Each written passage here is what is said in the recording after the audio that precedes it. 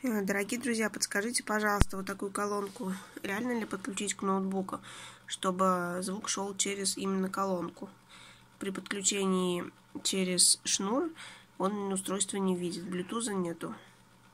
Может быть, есть какие-то варианты? Может, кто-то подключал или это бесполезно?